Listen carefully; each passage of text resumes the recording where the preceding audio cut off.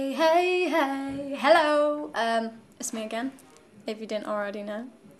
Um, I'd like to say thank you for following me and supporting me. It's very much appreciated. And I'm really, really proud of myself for my performance uh, on Saturday.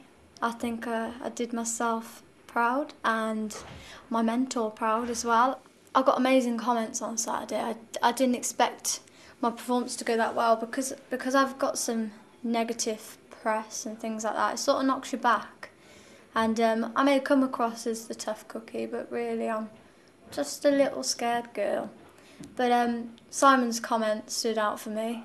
The way he said that um, all the people that doubted me, they don't need to doubt me anymore because I think I've, I've made my point and I'm going to keep going. So I'm very, very happy with myself. Okay, so people have left me some questions, and this first one's from Becca. Uh, you've asked me if I had a favourite song, what would it be to sing on the X Factor? Uh, this one's a really hard one because I've got many favourite songs. Um, but something like Diva by Beyonce, that's got some good little bits in it. And I love Drake as well. Successful would be a really good song for me to sing. Um, just, just beats like that, really.